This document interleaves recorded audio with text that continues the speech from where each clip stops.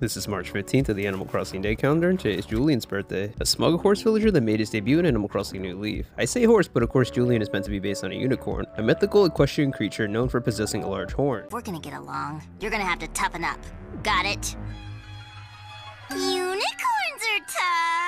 This ties into his happy home designer appearance where he would like a home as mythical as himself, as he considers himself a gift from the skies above. In Animal Crossing New Horizons, we can see that his home is completely furnished with astrological pieces. This could potentially tie into the name Julian, as it seems to be a reference to Julius Caesar, a famous general who believed to be directly descended from the Roman goddess Venus. This tie into astrology is also referenced in his attire, as he can be seen wearing a twinkle tee and a space parka, and even has a star background in his New Horizons photo, and his chimney even has stars coming out of it. To take all these connections a step even further, Julian's birthday is March 15th, aka the Ides of March, the day in which Caesar was assassinated. In Japanese, his name is Julie, which is also the historical family name of Julius Caesar. Eh, Julian seems to be a pretty good guy. Definitely not a friend that would stab you in the back.